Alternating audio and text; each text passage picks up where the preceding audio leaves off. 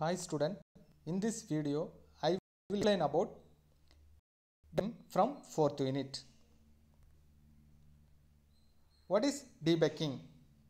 It is a process of removal of a defect. Debugging is a process of removal of a defect. There are three common approaches of debugging. First one is brute force method, second one backtracking method, third one cause elimination method. First one brute force method. In this method, the memory dumps and runtime trace are examined and program with write statement is loaded to obtain code to error cause. Second one, backtracking method. In this method, the source code is examined by looking backward from symptoms to potential cause of error. Third one, cause elimination method. This method uses binary partitioning to reduce the number of locations where error can exist. Next one, debugging process. It start with execution of test cases. The actual test result are compared with the expected result. This process attempt to find the lack of correspondence between actual and expected result. Additional tests are performed to make the system to work as per required. The debugging process it starts with execution of test cases. The actual test result are compared with the expected result. This process attempt to find the lack of correspondence between actual and expected result. Additional tests are performed to make the system to work as per required.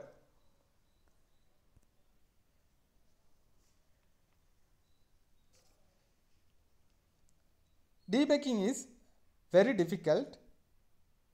Then we are study about why is debugging so difficult. Some of the reason the reveal are why debugging is so difficult. First one, tracing out the location of symptoms becomes difficult. Second one, symptoms may be caused by software developers during the development process. Such symptoms are difficult to trace out.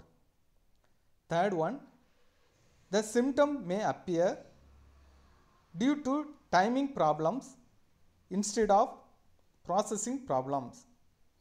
Fourth one, if the developer corrects some error then the symptom may disappear temporarily.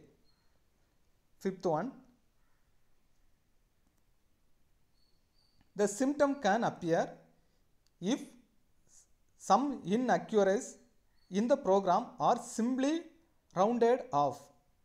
Sixth one, in real-time system, it is not possible to accurately reproduce the input condition and this may lead to symptoms of bugs.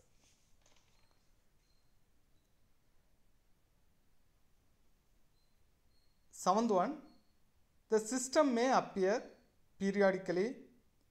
Eighth one, in distributed system, number of tasks are running on several distinct processor which may lead to symptoms. Next one, testing versus debugging. Testing. Testing is a process in which the bugs is identified. Then second one, in testing process, it is identified whether the bug occurs. Third one, testing start with the execution result from the test case. Debugging. Debugging is the process of in which the bugs or error in corrected by the programmer.